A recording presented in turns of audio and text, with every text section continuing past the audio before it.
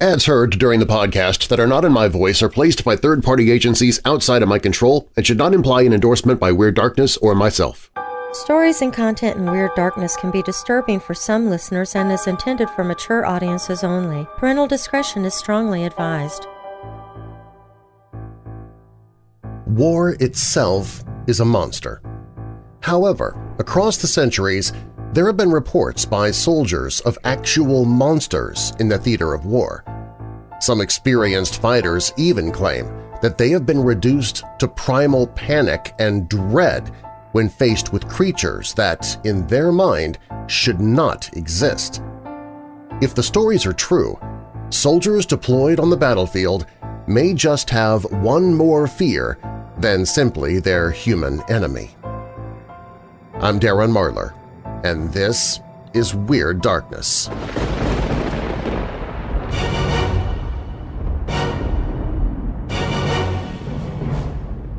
Welcome, Weirdos! I'm Darren Marlar, and this is Weird Darkness. Here you'll find stories of the paranormal, supernatural, legends, lore, the strange and bizarre, crime, conspiracy, mysterious, macabre, unsolved, and unexplained. If you're new here, welcome to the show. While you're listening, be sure to check out WeirdDarkness.com for merchandise, to visit sponsors you hear about during the show, sign up for my newsletter, enter contests, connect with me on social media, hear other podcasts that I host, listen to free audiobooks I've narrated. Plus, you can visit the Hope in the Darkness page if you're struggling with depression, dark thoughts, or addiction. You can find all of that and more at WeirdDarkness.com. Now bolt your doors, lock your windows, turn off your lights, and come with me into the Weird Darkness.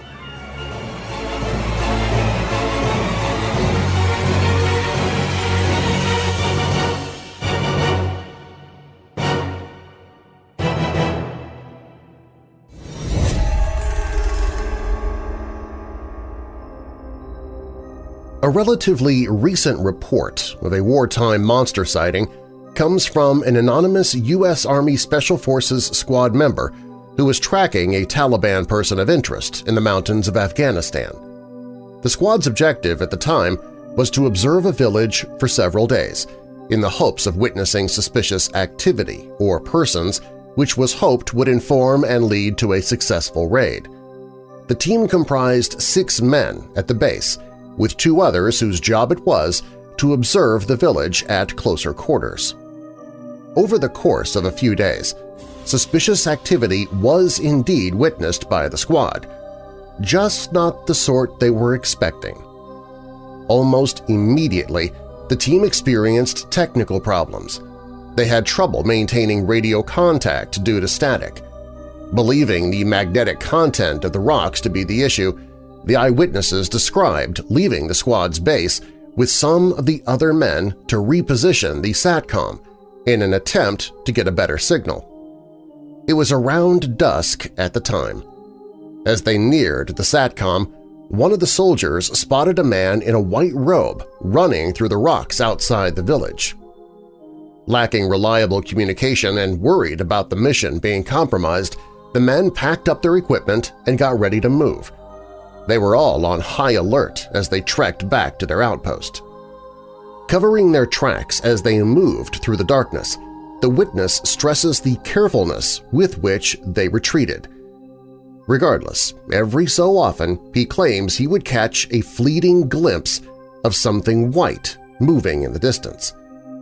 After a short while, he reported what he had seen to the others. An officer said he had seen the same thing. They were being followed. The sense of urgency and panic increased. They were a small unit, completely exposed, without a means of communication. Not only that, the witness reports that everything felt strange. The air felt heavy and sort of sweet. The silence hummed loudly. Now enveloped in the darkness of night, the team put on their night vision goggles. With the world cast in a perfect green haze, they scouted their surroundings. The men could see nothing and no one moving behind them. However, the danger of the night was far from concluded. What the witness describes as having happened next is chilling. Hallucinations happen, but what happened was beyond comprehension. First we heard a sound like a huge airplane taking off, a loud low buzz that slowly increased in pitch. We had to yell over comms to hear each other. Everywhere I looked, I kept seeing what looked like glowing eyes staring back at me, but once I would enter my focus on where I saw them, they would disappear. We were panicked. Everyone was holding their rifles at the high, ready. We were expecting some kind of ambush attack. Then it all just stopped. Everything got dark. The only thing I could hear was my breath and the blood pumping in my head. We stopped, dug into the side of the mountain, and performed SLLS – Stop, Look, Listen, Smell – for about 10 minutes. Nothing. Not even bugs. The air and the land were silent. The team was thoroughly spooked and overcome with fatigue and eager to get back to camp. However, they were very aware that something waited in the darkness for them, something which very possibly had intentions to harm them. They moved quickly through the scrub until they were met by the sight of a man dressed in light-colored robes. The man was slowly making his way towards them. According to the witness, the way that he moved was unnatural. He seemed to pass through any and all obstacles in his way, as though they were made of air. He seemed to melt over and around the rocks. Through the nods, night vision goggles, his eyes glowed, I scoped up on him and saw that he was looking directly at me. It was pitch black. There's no way he could have seen us from that distance without any kind of night optics. Suddenly, he stopped. He picked up one of his limbs and held it in the air, almost like he was waving at me. Then the arm melted back into his form like it wasn't an arm at all but some kind of extendable proboscis that was meant to look like an arm from a distance. I was about to ask the guys if they could see him when he suddenly disappeared. After he disappeared, the team, shaken and weary beyond words, were able to finally make their way back to the base. In the distance, they saw lights flickering near the village. They all but forgot about both this and the strange otherworldly man until a few days later. According to the witness, on that very night, the village they had been observing was raided. However, it was not the raid they had been working to inform. Apparently the team had moved into the village, found it completely abandoned. They also found several men in the area where I'd seen the lights that night. The corpses had been ripped to shreds, and based on the sheer amount of blood, the general consensus was that there were more men that were killed there than just the bodies that were found. It went in the official records as a successful raid with several enemies, KIAs. Unofficially, no one has any idea what killed them. All I know is whatever it was, it chose it chose those men and not us. Whatever the men saw that night and whatever happened to the village remains unknown. The Lombards were a powerful Germanic tribe that ruled much of Italy from the 6th to the 8th century AD. Paul the Deacon, a scribe of the Lombards, tells of a strange story in their history. In their early days, the Lombards were confronted by an overwhelming tribal army, whose numbers greatly surpassed theirs. Their passage was barred. However, the leader of the Lombards thought of a plan he spread a rumor that amongst his allies were a pack of savage, dog-headed man-beasts that waged unyielding warfare, drank human blood, and cannibalized themselves if they could not reach their enemy. The opposing army, not wanting to confront such an enemy, let the Lombards pass unmolested. With our modern sensibilities, most of us would look back upon these tribal peoples as being foolish for believing such a seemingly obvious lie, Yet at the time, and for much of human history, the existence of a race of dog-headed men was almost seen as a matter of fact.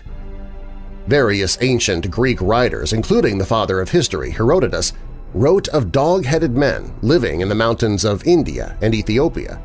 These canine men, also known as cynocephali, have been described as hunting for a living and communicating by barking with one another.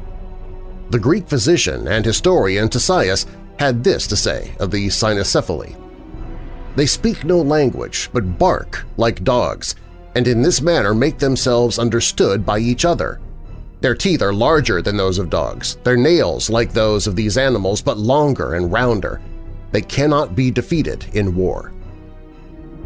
St. Augustine suggested that these dog-headed men descended from Adam. Other saints, including St. Andrew and St. Bartholomew, have described such creatures as well, whose hound-like appearance disappears after baptism.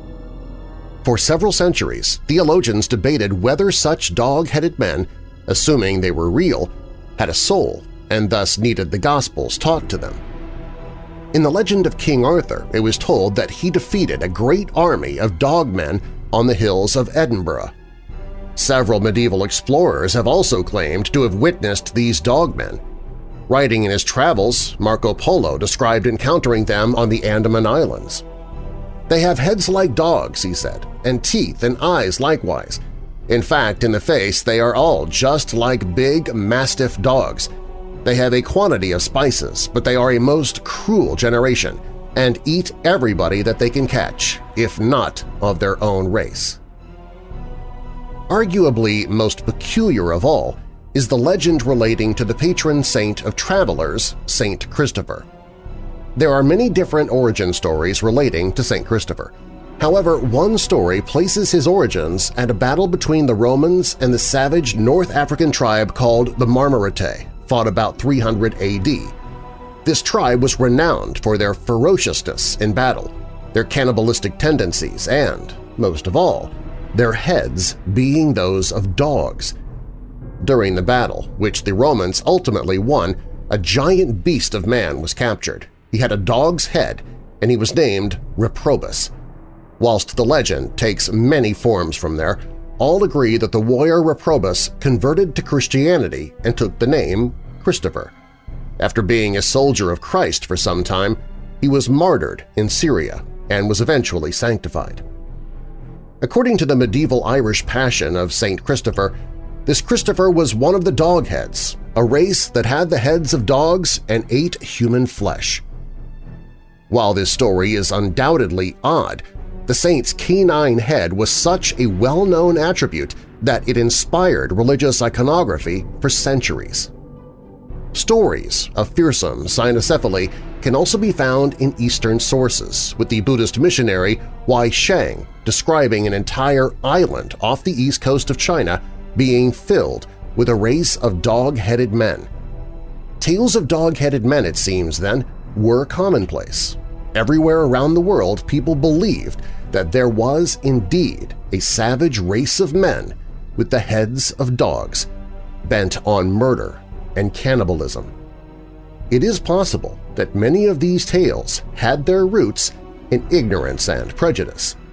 However, when the enemies of the Lombards heard the rumor of the cynocephaly that day, there was much for them to fear.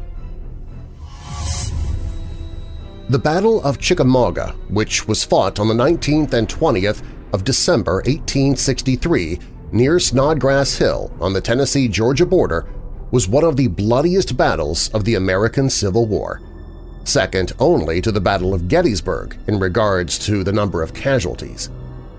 Indeed, it is said that so much blood was spilled on the battlefield that a creature of great malice was drawn to the devastation. A beast with green, glowing eyes is claimed to have haunted the land long before the arrival of the Civil War. After the Battle of Chickamauga, some reported seeing such a creature moving among the corpses near Snodgrass Hill.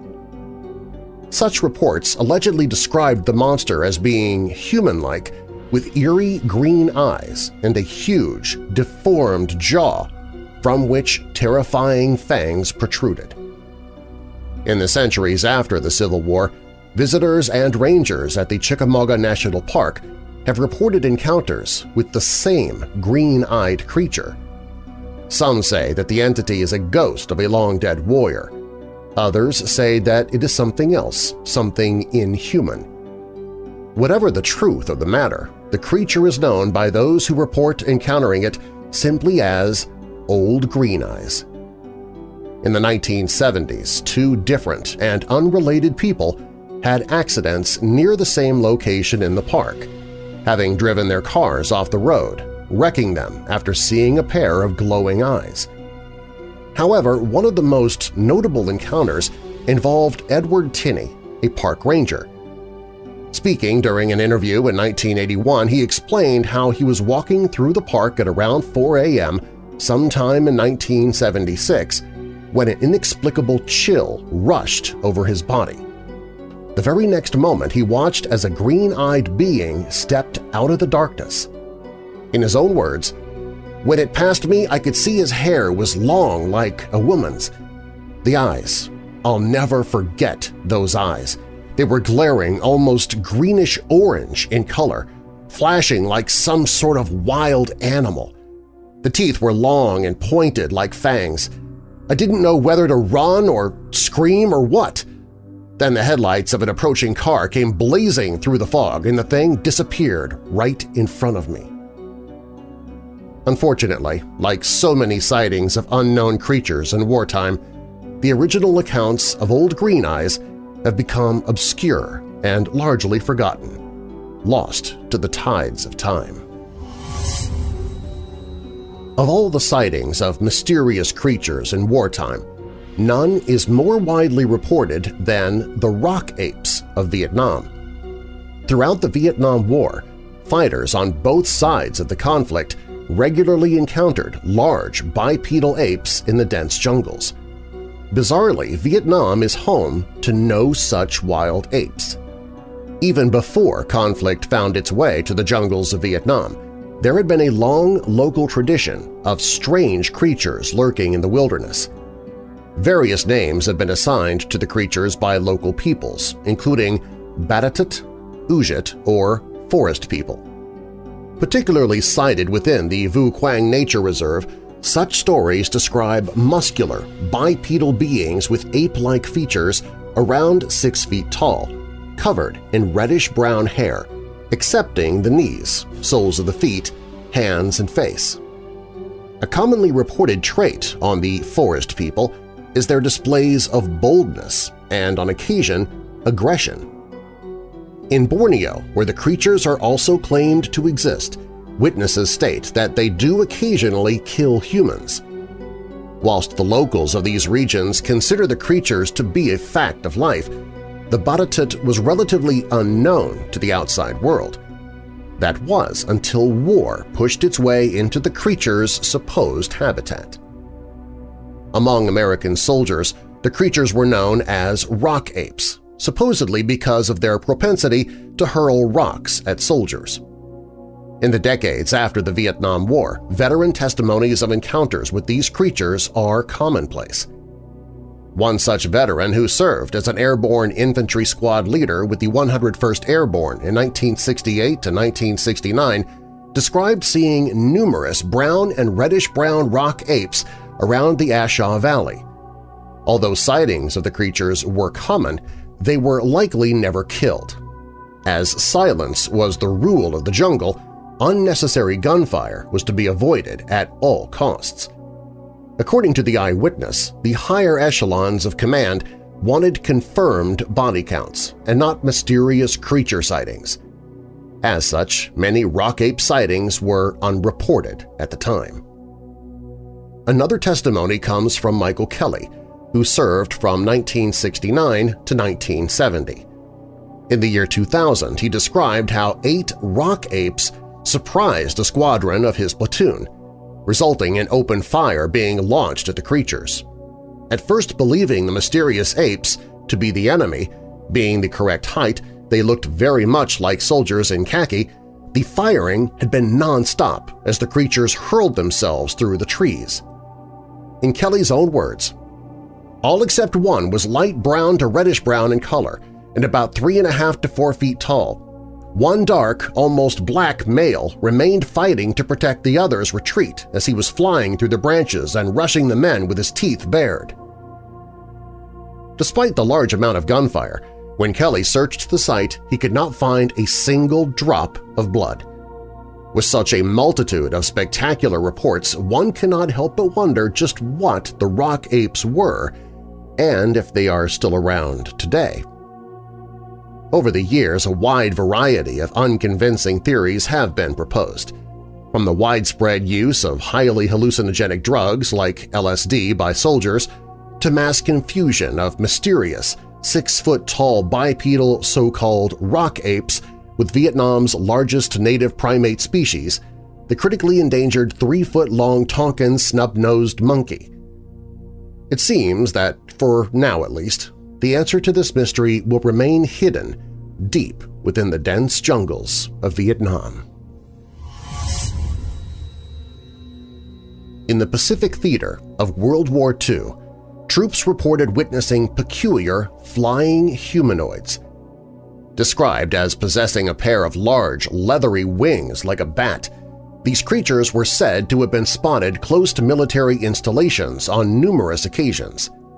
Silent and shy as they were reported to be, military eyewitnesses could not escape the unnerving feeling that these unearthly beings were somehow observing them. Many of the alleged sightings date to around the time of the Battle of Okinawa in 1945, Years afterwards, reports of flying humanoids in the Pacific were still being made by soldiers. One such report came from Sinclair Taylor, a U.S. Air Force private who was on guard duty at Camp Okubo near Kyoto, Japan in 1952. The sound of the creature's wings first drew the private's attention. To begin with, he thought he was looking at a giant bird. However, as it flew closer, it became clear that it wasn't. According to Taylor's testimony, the enigmatic being had the body of a man about seven feet tall. It also had a seven-foot wingspan. After having flown closer to the private, the creature stopped and hovered in the air. Panicked, Taylor began firing his weapon at the flying creature. When he looked back at the spot where the winged beast had been, it had vanished. No blood, cadaver, or any other physical evidence was left behind. Even more bizarre is the fact that Taylor was not the only witness to this creature. It has been reported that when he declared the incident to his sergeant, it was revealed that another guard had witnessed the exact same creature the year before. Although Private Sinclair Taylor had no knowledge of the previous sighting and had no contact with the other eyewitness, the two descriptions of the winged creatures were astonishingly similar.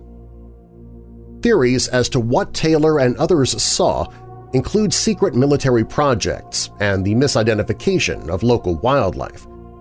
Misidentification suggestions include crows, which are reported to be much larger in Japan than in other parts of the world. Certainly, in some countryside areas, crows with a wingspan twice the size of the typical carrion crow are described by rural farmers. These super-sized birds are also reported to be more reserved and less vocal than the common crow, which fits with descriptions of alleged flying humanoids. This being said, misidentification of crows or other large birds does not account for the alleged human characteristics of these creatures, nor does it explain their seemingly unnatural ability to survive rapid gunfire, as reported by Sinclair Taylor. As such, the true nature of the flying humanoid creatures of Japan remains a mystery.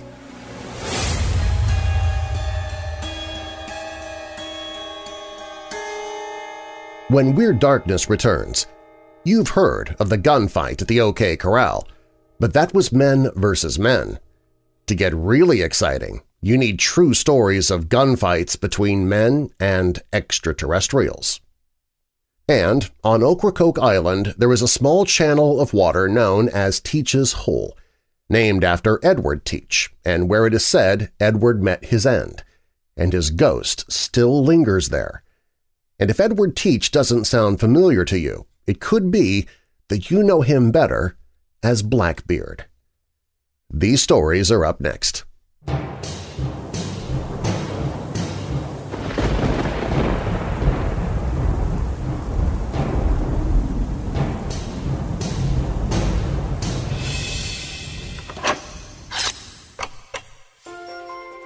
Do you keep a journal or a diary? If not, maybe you should consider it.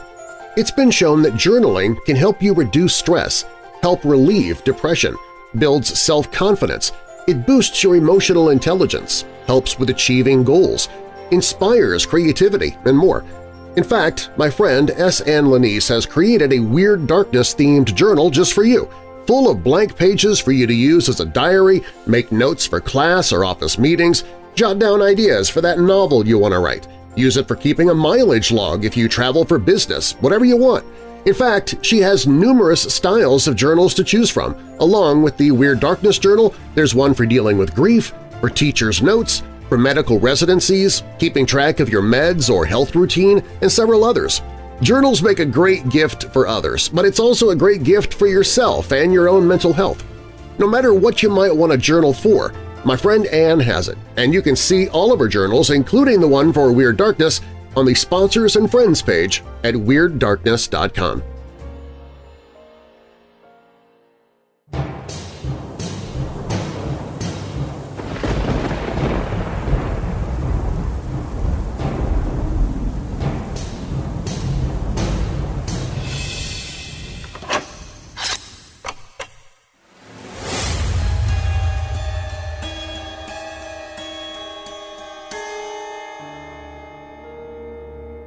One of the most controversial of all of Bob Lazar's claims, made after he allegedly briefly worked in late 1988 at a portion of Area 51 called S4, is that he read a series of highly classified documents on various aspects of the UFO phenomenon. One of those documents, Lazar maintained, told a strange and sinister story of a violent confrontation between security personnel at Area 51 and a group of aliens that were in residence and working at S4 alongside a scientific team. It was a confrontation that reportedly resulted in more than a few deaths, far more than a few. Lazar had admitted that he cannot say for sure that the briefing papers he read were the real thing. He has acknowledged that they may have been nothing but disinformation designed to swamp him with both real and bogus material. Why might the project leaders at Area 51 do such a thing? Simple. If there were concerns that Lazar might blow the whistle on what he knew, which, as history has shown he did in 1989, mixing up the truth with a more than liberal amount of lies might have an adverse effect on his credibility. It should be noted that's exactly what happened. That said, although he cannot say for sure that the documentation was the real deal, he does recall the contents of the material in relation to this firefight situation. According to Lazar, the deadly confrontation occurred at some point in 1979 in the S-4 facility. Lazar said, I believe the altercation came about in 1979 or sometime like that, and I don't remember exactly how it was started, but it had something to do with the security personnel. The aliens were in a separate room. I think it had something to do with the bullets the security guards were carrying, and somehow they were trying to be told that they couldn't enter the area with the bullets, possibly because it was hazardous. The bullets could explode through some field or whatever. Lazar continued that despite the warning, one of the security guards did indeed enter the room with the bullets, something which resulted in a violent and lethal response from the aliens. Lazar recalled that the papers he read described how the security personnel were all quickly killed by head wounds. The same fate befell a group of scientists on the program too. Timothy Good, who interviewed Lazar at the height of the controversy surrounding his claims, said, the incident is said to have led to the termination of an alien liaison at the Nevada test site. It's important to note here that there is a variation to this story not from Lazar, who stuck to his story which he read out at S4, but from a man named Paul Bennewitz, who in the late 1970s began digging into claims that an alien base did exist below the New Mexico town of Dulce. From intelligence personnel at Kirtland Air Force Base, Albuquerque, Bennewitz learned of a story of a fatal encounter between hostile aliens and a security team in the lower levels of the Dulce base. The different location given to Bennewitz is just about the only difference between what Lazar was told and what Bennewitz was told. Clearly, both scenarios cannot be true, something which means we must give deep consideration to the possibility that the papers Lazar read were not the real deal. They may well have been disinformation. So might have been the data provided to Paul Bennewitz. In other words, there is a strong likelihood that both tales were fabricated and fed to Lazar and Bennewitz as a means to confuse the truth surrounding what is really going on at Area 51, and which may actually have nothing to do with real aliens, hostile or not.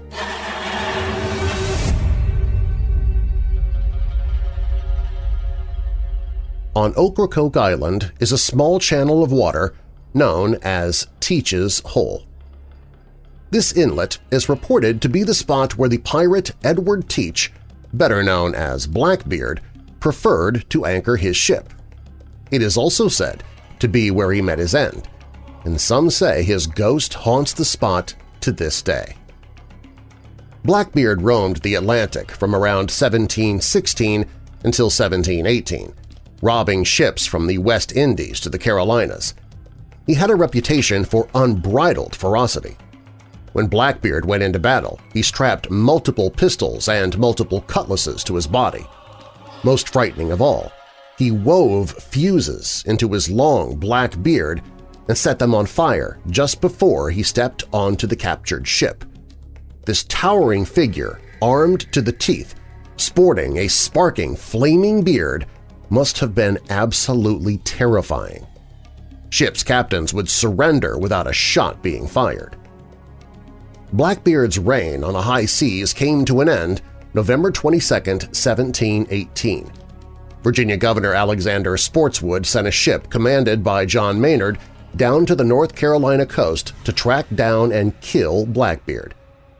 Maynard surprised Blackbeard and a skeleton crew anchored at Teach's Hole.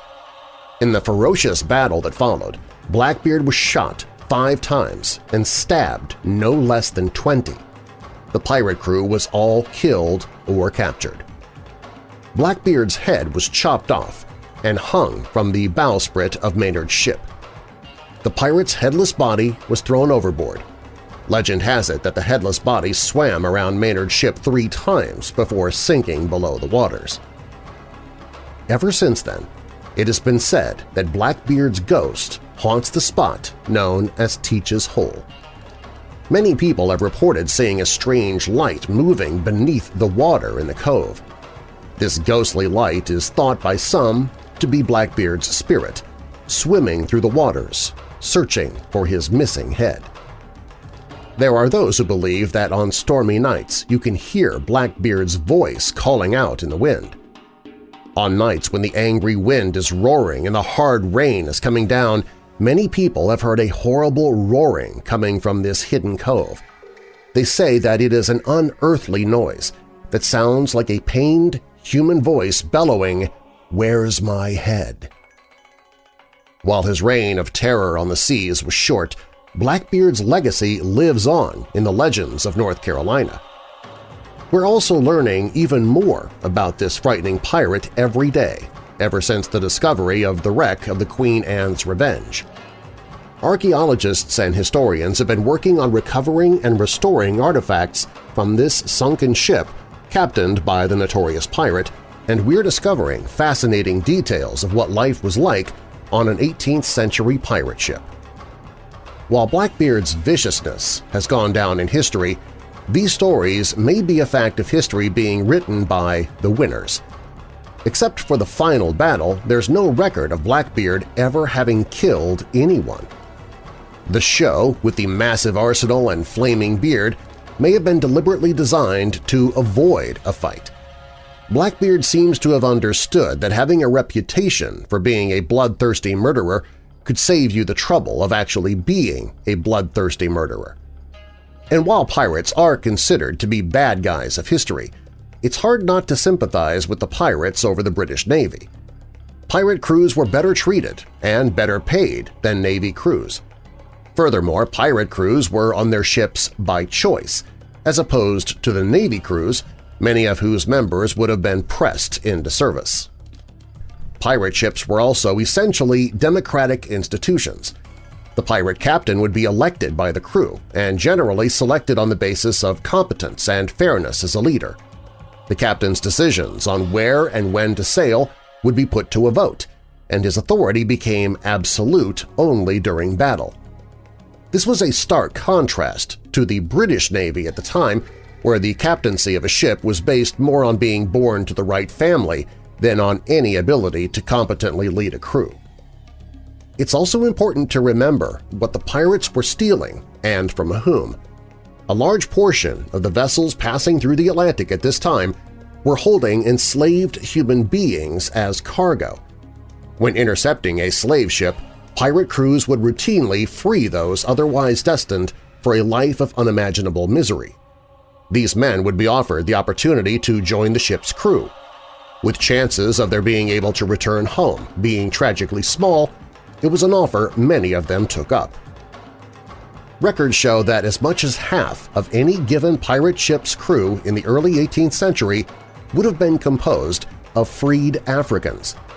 Even Blackbeard's trusted second-in-command, who died fighting with him at Teach's Hole, was one of these men, known to us only as Black Caesar.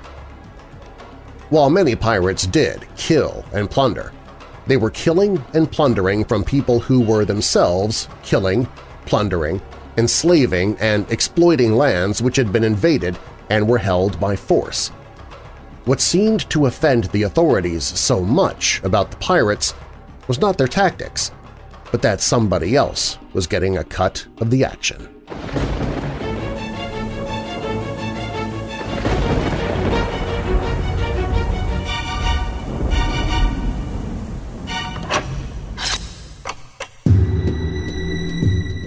Your Haunted Lives – True Tales of the Paranormal by G. Michael Vasey, a collection of creepy, often downright chilling true experiences of the paranormal submitted by visitors to the My Haunted Life 2 website.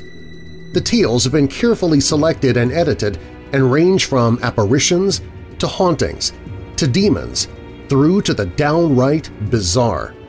This terrific collection of true stories of the paranormal will keep you looking over your shoulder. Your Haunted Lives – True Tales of the Paranormal by G. Michael Vasey.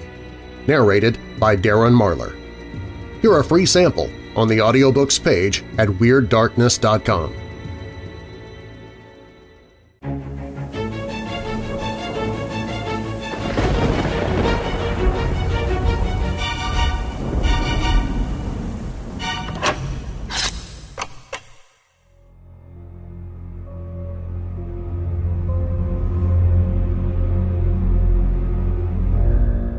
The Asch Building on the corner of Greene Street and Washington Place was a rather nondescript 10-story building. The owners, Max Blanck and Isaac Harris, rented or subcontracted out the lower seven floors of the building to various other similar enterprises. They saved the 8th, ninth, and 10th floors for the Triangle Shirtwaist Company factory, which they operated to make ladies' blouses, then known as shirtwaists. Employees of the Triangle Shirtwaist Company were not allowed to leave the building by the main doors. At the end of the workday, they were required to go to the rear exit door, which was kept locked during the hours of operation for fear of theft. Here, the employees were routinely searched before leaving, lest they try to steal something.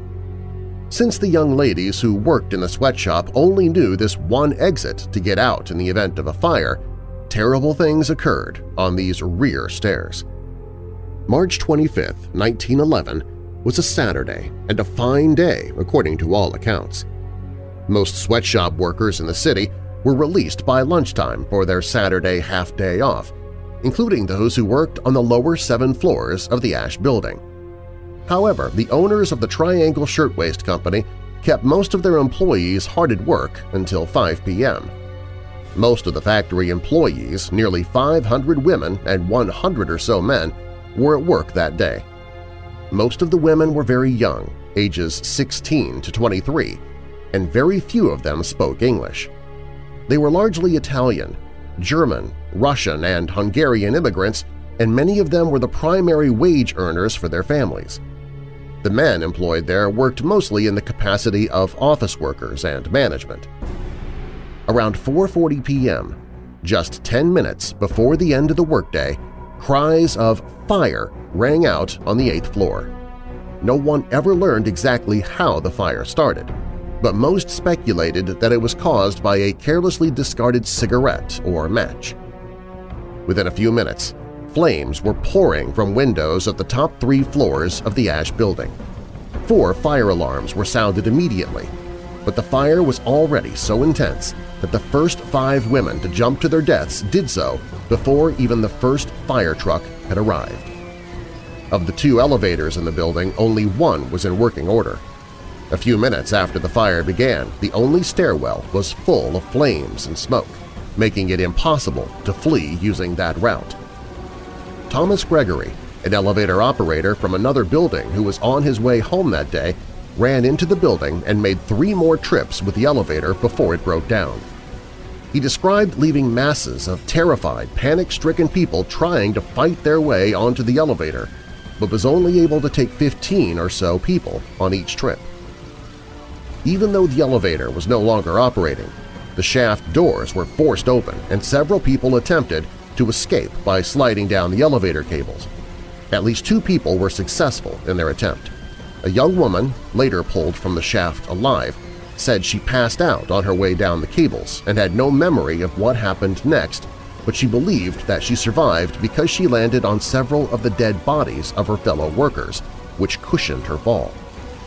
Another man reported using the same cables to flee. Unfortunately, as he slid down, the body of a young woman falling from above knocked him from the cables and he fell the final few floors. After the fire, 25 bodies were pulled from the bottom of the elevator shaft, many of whom had simply jumped to their deaths to escape the flames. Both Harris and Blanck, the building's owners, were in the building when the fire started, along with Blanck's children and their nanny. All escaped by making their way to the roof, a means of escape that was not known to most of the factory workers. The doors to the roof were kept locked on all but the top floor.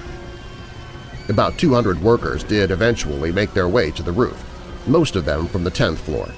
The New York University Law School building was located just across a small courtyard but was one story higher. As the fire raged, several law students led by Charles Kremer and Elias Cantor rushed to the aid of the victims. They tied two short ladders together so that the victims could climb to the roof of their building.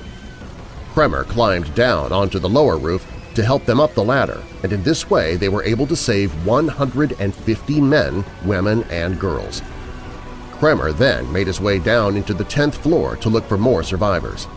He saw only one young girl, her hair ablaze. She ran toward him screaming and then fainted in his arms. He put out her burning hair, then carried her to safety, believing there to be no one else surviving left behind on that floor. Meanwhile, at the other end of the roof, about 50 people had gathered and were fighting to scale the five feet to the roof of the adjoining building. Several of the law students reported seeing men kicking and biting the women and girls, knocking them out of the way as they escaped to safety. After the fire department arrived, many attempts were made to save trapped or falling victims. Unfortunately, their ladders only reached a little above the sixth floor. Several people tried to jump to the ladders, but none were able to catch hold and all fell to their deaths. Safety nets were also employed, but to little or no avail. The great height was just too much, and many of the nets split or were shredded as bodies fell through them, crashing to the pavement. In one case, a young girl was caught in a net, but three others who jumped just after landed on her and all four toppled onto the ground dead. A few bystanders tried to stretch blankets or tarps, but the results were nearly all the same. The number of people saved in this manner could be counted on one hand. One woman fell with such force that she ripped through a safety net and crashed through the thick glass vault in the sidewalk, finally coming to rest in the basement of the building. Several rescue workers were injured when falling bodies struck them. People were falling faster than the firefighters could get into position to try and catch them. The firefighters' rescue efforts were further hindered by the growing number of corpses strewn about the sidewalks, making it difficult for them to move the safety nets. The bodies were left lying where they fell until later that evening, as the firefighters were busy fighting the fire. It was believed none of those who had fallen could still be alive. A few hours later, however, a young woman was pulled from a pile of bodies, still breathing. A great cheer arose as she was loaded into an ambulance. Sadly, though, she died a few minutes later. As the upper floors of the building burned, a crowd of thousands gathering in the streets below bore witness to the carnage that was unfolding before them. They screamed in horror as they watched helpless. Many eyewitness reports of the tragic deaths of the people who fell to their deaths from the windows of the Washington Place and Greene Street sides soon followed. Some jumped, some were thrown or pushed, and others were forced out by the panic-stricken crowds shoving their way toward the windows. A majority of those who fell did so with burning clothing and hair. Some continued to burn as they lay on the sidewalk until they were extinguished by the water dripping down from the fire hoses, their blackened bodies left lying there until late in the evening. Five young women on the Greene Street side of the building climbed out onto the windowsill, wrapped their arms around each other, and jumped together. They crashed through the sidewalk cover into the basement, their clothes and hair burning as they fell. Another girl leaped very far out, but her dress got tangled up in some wires, and she was left suspended high above as the crowd watched, unable to help. Eventually, her dress burned through and she fell to her death. A man on the same side was seen from an adjacent building, running from window to window, picking up women and throwing them out the windows. Eventually, when no other women were left, he himself climbed onto the ledge, paused a moment, then jumped. It was never known if he believed that there would be nets to catch them or if he was trying to shorten their suffering. A young girl of about 13 was seen hanging by her fingertips from a ninth-floor windowsill for a few minutes.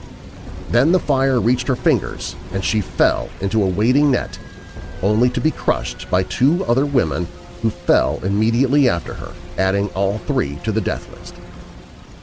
Some of the girls who jumped from the Washington Place side crashed through the vault light in the sidewalk. As women continued to fall or jump from the same window, their bodies eventually created a hole nearly five feet in diameter. Later in the evening, firefighters pulled several partially nude and burned bodies from this hole. Another pair of girls climbed out of a window on the ninth floor, overlooking Greene Street. The older of the two seemed calm and composed as she tried to subdue the younger girl as she shrieked and twisted with fright. As the crowd called to them not to jump, the older girl wrapped her arms around her and pulled her back toward the building. The younger girl, in her panic, twisted free, took a few steps away, and then she jumped. The older girl remained standing on the ledge until the flames came so close that her hair was scorched. She looked skyward, placed her arms to her sides, and jumped straight down feet first. Her name was Bertha Weintraut, and she was the girl who was later found alive if only for a few minutes, buried amid a pile of corpses on the sidewalk. Six girls, after getting to a window on the ninth floor, made their way out onto an 8-inch wide ledge that ran the length of the building. Slowly they edged their way along this ledge, more than 100 feet above the ground, toward a swinging electric cable. When all had arrived, they grabbed the cable simultaneously in an attempt to swing to the safety of the adjacent building. The cable snapped as they swung out and all six perished below. A few windows down on the same floor, a man and a woman appeared on the sill. The man kissed, then hugged the woman, threw her to the street, and jumped himself. Both were killed. Just around the corner, from another window, a young girl, a man and a woman, and two other women with their arms wrapped around each other leaped to the ground together. The young girl was found alive after her fall and was rushed to the hospital where she died upon arrival. A small group of men tried to make a human bridge between the burning building and the window of another building. They were successful in saving a number of women, but eventually the weight of the women became too great and the bridge broke, the center man tumbling to the ground with a broken back. The fire was extinguished within an hour, and by 7 p.m., less than two hours after it started, firefighters were able to force their way up the stairs and into the burned floors. They reported that 50 roasted bodies were found on the ninth floor alone. The charred bodies of 19 victims were found piled against locked doors, and 25 more were found huddled together in a cloakroom. Each body, as it was found, was carefully lifted from the burned surroundings, wrapped in cloth, and hoisted to the ground using a pulley system. They were then taken to one of a hundred wooden coffins lining the street. The bodies were then moved to the morgue at Bellevue Hospital or the Charities Pier morgue. One unnamed reporter wrote in the New York Times that the remains of the dead, it is hardly possible to call them bodies because that would suggest something human, and there was nothing human about most of these, were being taken in a steady stream to the morgue for identification. Fire Chief Edward F. Croker, one of the first men to re-enter the building following the fire, left the building in obvious distress stating that in all his years he had never seen anything like what he had seen on those upper floors. The police estimated that as many as 200,000 people, devastated family and friends as well as the morbidly curious public, entered the makeshift morgue at the pier and filed past the over 100 wooden coffins containing bodies that had been recovered. They walked past the bodies that were at least partially recognizable in the hope of finding a lost loved one tens of thousands were turned away by the police in an attempt to keep more of the general public away. Over 40 human forms too badly burned to be recognizable were covered with a white canvas tarp with the hopes that they might be identified through trinkets, jewelry, or articles of clothing. Stories of unbelievable anguish were published in newspapers across the country. A young girl was identified by a family heirloom signet ring found clinging to the charred flesh of a badly burned body. A young woman screamed as she collapsed after identifying her fiancé by his ring, having become engaged only the night before. She asked if a watch had been found with the body. When she was given the watch, she opened it and gazed upon her own portrait. A man having waited in line for over five hours identified his daughters by their clothing. After collapsing with grief, he attempted to kill himself on the spot. He was restrained by police until he calmed down enough to continue looking for his wife, also lost in the fire. A man with a fresh burn on his cheek identified his brother. He told the police that he and his brother had fought the fire, standing side by side with buckets of water. A man who had barely escaped with his own life identified his fiancée by her engagement ring. In her hand, she still clutched her handbag, her weekly wages of $3 remained inside, intact. A sobbing brother stumbled away from the mangled bodies of his two sisters, left propped up in their coffins to search for their mother. The fire took his entire family. As a growing number of people became hysterical or suicidal, a makeshift hospital was set up at the pier to deal with this unexpected problem. Doctors and nurses from Bellevue Hospital worked for days trying to help keep those grieving family members from being added to the list of lives stolen by the fire. 31 victims remained unidentified after the last of the survivors claimed their family and friends. The Hebrew Free Burial Association paid for the burial of 23 of these victims in a special section of Mount Richmond Cemetery. The remaining eight bodies were interred in the Cemetery of the Evergreens in Brooklyn. As the blaze began, the only safety measures within the asch building available to those still inside were 27 buckets of water and one fire escape that collapsed almost immediately. Most of the exits were locked, and those that weren't opened inward so that they remained closed under the crush of people pushing toward the doors. It was not the 95 charred bodies found inside the building that so outraged the public, but rather the heaps of bodies along the sidewalk and rows of mostly young girls lying dead in the street. By the end, 53 people had jumped, fallen or were pushed from the upper floors, and thousands of people were there to witness each one of them fall and strike the pavement. The average age of those killed in the fire was 19. The public outrage was carried like a wave across the country as reports and pictures of the tragedy appeared in newspapers everywhere. The resulting public pressure proved to be too much to overcome, and dramatic changes were in store for the existing fire codes and their enforcement in the workplace. The New York State Legislature formed the Factory Commission in 1911, which developed many requirements linked directly back to the Triangle Shirtwaist Factory fire, such as all exit doors must be left unlocked during operating hours, and sprinklers were to be installed if a factory employed more than 25 people. The memories of the young women who perished in that terrible fire resulted in a major change in the way many people thought about protecting workers. Prior to the fire, the government left businesses alone regarding the safety of their workers. Afterwards, the government had little choice but to begin instituting sweeping safety laws that changed history for American workers. In the end, no one was held accountable for the Triangle deaths. In December of 1911, Max Blanck and Isaac Harris, the Asch Building owners and Triangle Shirtwaist Company owners, were charged and tried for manslaughter. Despite a mob of people outside the courthouse chanting, "Murderers! Murderers!", the two were acquitted of all charges by the jury after only two hours of deliberation. 23 individual civil suits for damages against the company were settled for an average of $75 per life lost. Blanck and Isaac completed their association with the Triangle Shirtwaist Factory by filling an insurance claim in excess of their losses, garnering them a profit from the fire of more than $60,000, a hefty sum in 1911. Blanck continued on in the clothing manufacturing business. He opened another factory on Fifth Avenue. In 1913, just two years after the Triangle Fire, he was arrested for locking the exit door in his factory during working hours. He was fined $20. The Asch Building still stands at the corner of Washington Place and Greene Street, but its name has been changed to the Brown Building.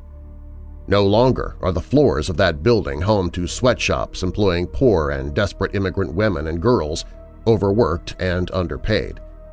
Today, the Brown Building is full of young university science students as it has become a part of the New York University as a science lab, the same university that was located next door and provided a means of escape to nearly 150 people fleeing the fire with the aid of many of the students. On the corner of the building, a plaque has been placed commemorating the tragic events that took place on that site on March 25, 1911, and the lives lost that day. The Triangle Shirtwaist Fire continues as a turning point in United States history. There are other reminders of the fire for those who pay close enough attention. Even though the use of the building and the occupants have changed dramatically, bits and pieces of its history still linger, many of these believed to be supernatural. It's not uncommon for the smell of smoke to waft through the halls of the upper floors, and more than once fire warnings have passed through the building. On occasion, people have reported a different kind of odor accompanying the smell of smoke. This odor can only be described as that of burning flesh. Then the odors simply disappear as quickly as they began. Often doors that are supposed to be locked are found unlocked, sometimes within minutes of being locked. Could it be that the spirit of someone lost in the fire is trying to keep the current occupants from meeting the same tragic fate by being trapped behind a locked door in an emergency? A few people over the years have described a most peculiar experience. While sitting at a desk or workstation, they've seen, out of the corner of their eye, something large flutter downward past their window. Upon going to the window to look down and see what it was, there is nothing there. The most striking ghostly experience was related by Susan, not her real name, a secretary who worked in the building for many years. She explained that she had been working later than usual one evening, and by the time she left to go home, most of the other employees and students had already left. As she walked out of the building, she noticed a young woman walk past her with a slight stagger and a dazed look on her face. She was very dirty, and her hair and clothes appeared to be singed or burned. Susan called to her to see if she needed help, but the young woman didn't respond. She just kept walking and turned the corner. Susan, thinking that the woman might be injured or in trouble, ran after her, but upon turning the corner she was met by an empty sidewalk. The young woman had simply vanished.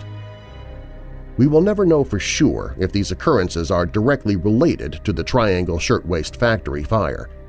However, it does appear that the most important thing is that we never forget what happened there, nor the lessons learned.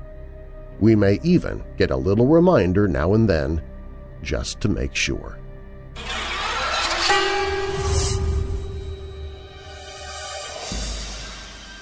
I've been working at a local Goodcents Subs in my town for almost two years now. This specific store has been experiencing strange phenomenon since before I started my work. Co-workers have claimed to be touched, heard their names called, and even seen strange apparitions. I wasn't a believer until I kept hearing my name being called, though the most horrifying thing happened to me on Easter about a year ago. I was told by management to come in and lay out the bread that would be baked the next day, and reluctantly agreed. No one wanted to come into the store alone. At about 7 o'clock that Easter night, I entered the store. It wasn't so bad, kind of relaxing, or so I thought. I was able to lay out the first tray of bread when I noticed it. As I was closing the freezer door, I saw what looked to be a face peering at me from around the corner in the store office. I jumped, not expecting to see a form, and it disappeared. Frightened slightly, I continued to lay out bread. I then heard an odd scraping noise. Immediately, I armed myself with the closest bread knife I could. Studying the area, I saw the face again. This prompted a full search of the store for intruders, but I found nothing. This is the single most frightening incident I have ever experienced and I refused for months to be alone in the store at all.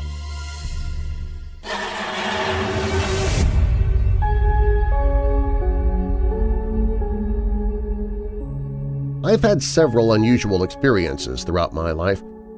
I like to say unusual instead of paranormal because of the skeptic in me. However, the most recent one occurred two years ago. At this time, my then fiancé, now husband, and I had moved in with my in-laws in order to save for our wedding and for college.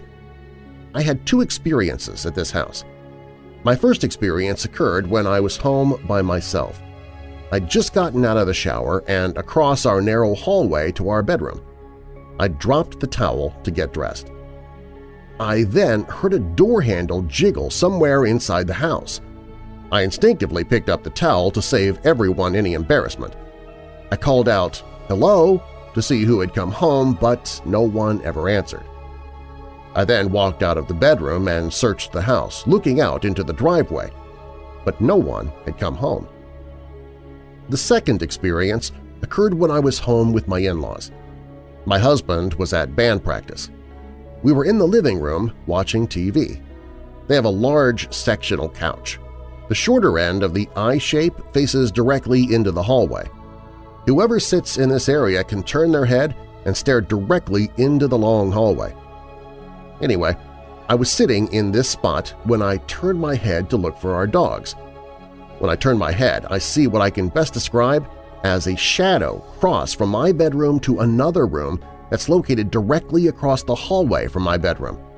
It wasn't exactly a shadow, but a figure that had a few features of a person.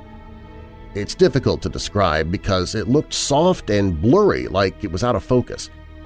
I wondered for a second what my husband was doing before I remembered that he was at a practice across town. I turned to my in-laws and said, I think I just saw something cross from one room to the other. My father-in-law simply stated, oh, yeah, that happens sometimes. I told them I could have done with a warning.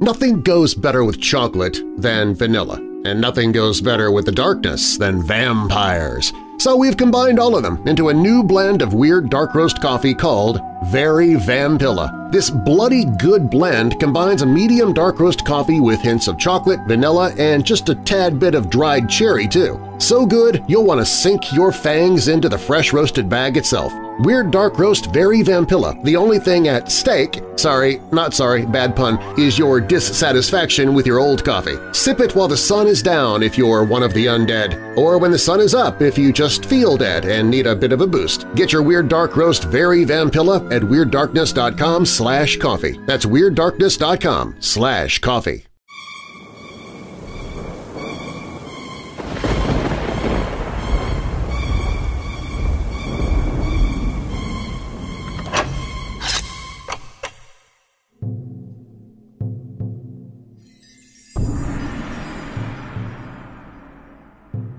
When you think of a mother, you think of someone who loves you unconditionally, a person to whom you've given your absolute trust. But what happens when that trust is violated again and again in the most grievous of ways? And what if the woman who tucks you in at night is a mother, a murderer, and a monster? Such was the case for the six children of Theresa Knorr, Life in the Knorr house had never been stable. A raging alcoholic, a negligent wife, and an abusive mother, Theresa Knorr had burned her way through four marriages by the time she was 30 years old. But it was her last divorce from Chet Harris, finalized the same year they wed, that sent her past the brink of madness. Suddenly, Theresa's drinking increased. Her neurosis worsened. Her violent behaviors escalated. Envious of her two eldest daughters, Theresa directed the brunt of her abuse at Sheila and Susan. Both girls met gruesome ends at their mother's hands. In 1984, Theresa burned Susan alive with the help of her teenage sons, Robert and William. Several unsuccessful murder attempts preceded the incident, a shot in the back, a stabbing, and a crude operation with an X-Acto knife. Theresa's motivation? She believed Susan had used magic to make her gain weight. Sheila was killed only a year later after being locked in a closet without food or water for three days. Again, Theresa made wild claims to justify her actions. And again, Robert and William served as her brainwashed accomplices.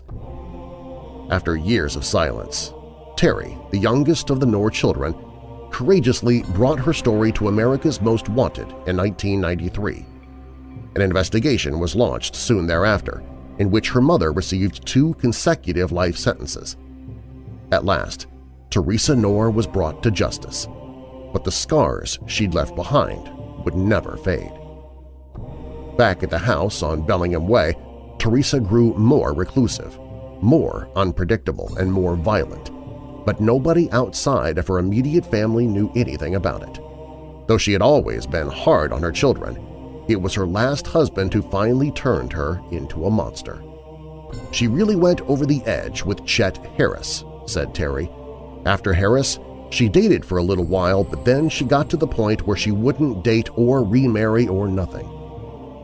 Terry's older brothers, William and Robert, agreed, recalling that their mother's gradual transformation from angry disciplinarian to raging eccentric took place in the late 1970s. Sometime around when I turned 10 or 11 or so, she started becoming abusive, real short-tempered, William recalled. She stopped going out, seeing friends at all on any level. She got rid of the telephone because she didn't want any people calling. We weren't allowed to have anybody inside the house. When I was growing up, I hated the Brady Bunch because I knew that nobody lived like that, said Robert. I knew that because I knew what my family life was like. Nothing could be more different from the truth than that TV show. I grew up in an insane asylum, basically. But what's worse is we didn't know it was an insane asylum, he continued. I never really admitted or even knew that I was being abused or that my family was being abused because I thought it was normal. And yet, as far as the neighbors knew, the Knorr family was no different from any other. Not that I want to say that they were private, but they stayed to themselves, said Janet Garrett, who lived next door. It was difficult to strike up a conversation with the mother. She just didn't want to, it seemed like. You try a few times, and after two or three times you just say, okay, you just give up. Teresa's changing behavior even went undetected by the neighborhood kids, who generally had a closer view of their friends' private lives than their parents. Not having a father figure around, that was the only thing about their family that seemed different, said Janet's son, Chris Garrett. He was the same age as Terry Knorr and went to her house to play from time to time. Once he went to her birthday party, a party at which he noticed that he was the only non-family member. Terry's mom wasn't the silent type he recalled. In fact, she was real talkative. Kept to herself but talkative when you talked to her. Even so, I don't remember her ever saying anything that you could call off the wall. But Terry's mom was definitely different from the other moms in the neighborhood. I'll say this about her, Garrett added. Terry's mom definitely had control of the kids. I didn't see a lot of backtalk or argument coming out of any of them. If they were told to be in by a certain time, they were in. If they were told to do something, they did it. They never asked questions. They never made a point to second-guess authority. When my mother got drunk, she used to lick the ends of steak knives, Terry recalled. Serrated-edged knives, and she threw them at us to see if her aim was good. Knives weren't Theresa's only deadly playthings when she'd had a little too much to drink. Terry still blanches, remembering the chill in her mother's voice one evening when she went in to say goodnight.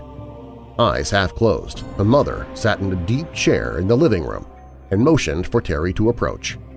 In her drunken stupor, Theresa howled at her shivering but stoic young daughter, boasting of that defining moment nearly 15 years earlier when she pointed a gun at Clifford Sanders and pulled the trigger. She owned two guns, a Derringer and a revolver, Terry recalled.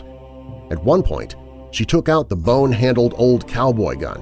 It looked like a toy, but it was a real six-shooter, a 22 pistol. Aiming the pistol at her daughter, Theresa told Terry, I shot once and I can do it again. Terry froze, standing terrified before her. And she told me to come to her, and I did, Terry said with a shudder, remembering and she put the gun to my head. So hard that the next morning I woke up and still had a knot from where the barrel had sunk into my temple. Theresa's children may have accepted this dictatorial isolation, but they didn't understand it.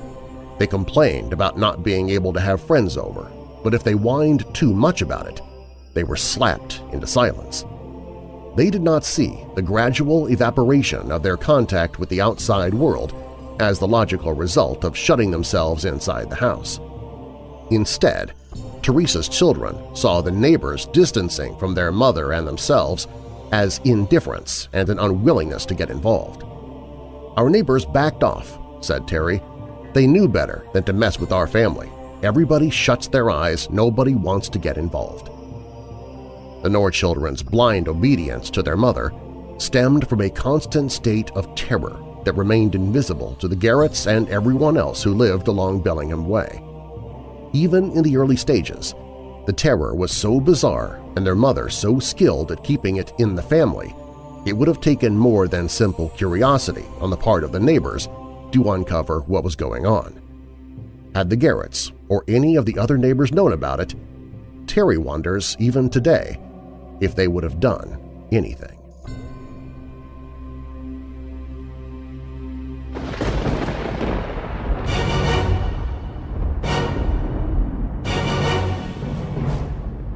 Thanks for listening. If you like what you heard, be sure to subscribe so you don't miss future episodes. All stories used in Weird Darkness are purported to be true unless stated otherwise, and you can find links to the authors, stories, and sources I used in the episode description, as well as on the website at WeirdDarkness.com.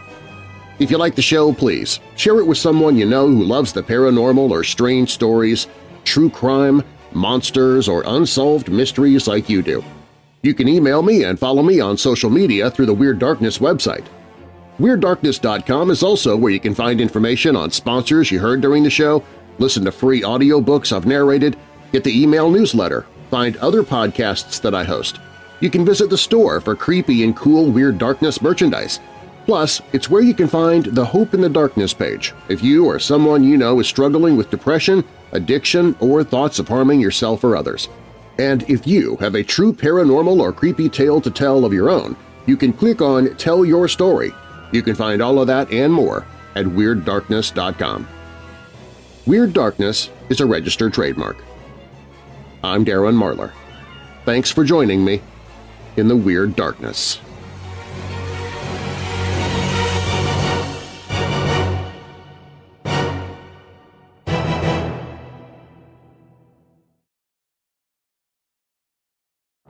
The political season is upon us, and those flying the red colors have their promises. The politicians wearing blue have different promises, but those of us in the cryptid party have only one promise – to stay hidden and mind our own business. Don't let the political pundits, the candidates, the PACs, or your closed-minded brainwashed family and friends tell you who to vote for. You're smarter than that. That's why I'm telling you who to vote for. This November, pull the lever for Bigfoot and Mothman. Our new president, Bigfoot, won't make the same mistakes as humans have, because he's not human. Bigfoot loves our country and you, so much so that he knows you have a better idea of how to run your life than he does, so he's staying out of your life. With Vice President Mothman, their new administration will do what no administration has done in the past – absolutely nothing. Show your support for the Cryptid Party by grabbing your Bigfoot Mothman 2024 merchandise with campaign buttons and stickers, hats, shirts, tote bags, mugs, hoodies, giant tapestries, pillows, magnets, even clothes for your kids to get them into the spirit of the political season. This year, vote for someone you can trust in, believe in, even without scientific proof of their existence. A vote for Bigfoot and Mothman is a vote you can be proud to tell others about. Get your Bigfoot and Mothman 2024 merchandise now at WeirdDarkness.com shirts, available in all sizes and colors, even red and blue if you want to confuse people about your party loyalties. The new Bigfoot and Mothman 2024 political campaign merchandise at WeirdDarkness.com slash shirts.